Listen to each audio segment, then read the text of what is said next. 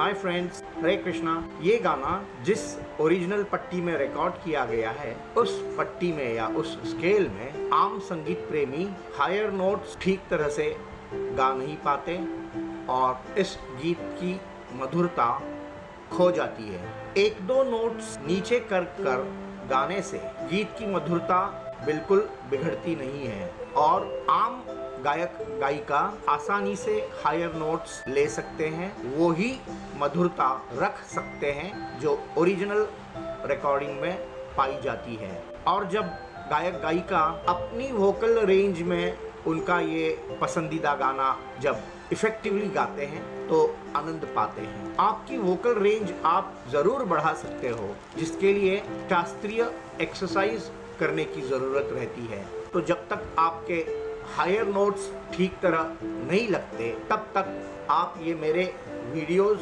देखकर गा सकते हो, जिनमें एक दो नोट स्केल नीचे किया हुआ होता है। दूसरी बात, मेरे इन वीडियोस में लिरिक्स स्टेशनरी है।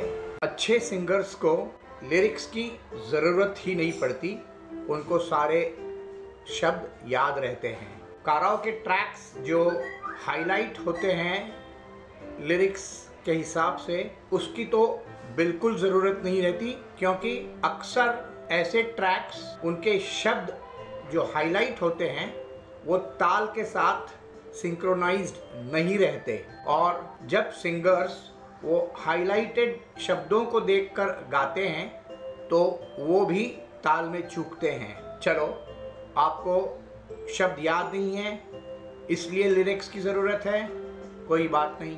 ये ऐसे ट्रैक्स आप देखिए जहाँ पे स्टेशनरी लिरिक्स होता है। इससे आपको शब्द याद रखने में मदद मिलती है। जब आप ताल और सुर में अच्छे हो और लिरिक्स आपको याद है तो आप वो गाना जब गाते हो तो उसमें इमोशंस ऑटोमेटिकली आ जाती है। नहीं तो होता क्या है? आपका 50 परसेंट अटेंशन वो लिरिक्स पढ़ने में जाता है और आपके चेहरे पे उस गाने में जो इमोशंस छुपे हैं, वो छुप जाते हैं। तो आइंदा कोशिश कीजिए, आपके पसंदीदा गानों के शब्द याद रखें और सुर और ताल में गाना गाए। All the best friend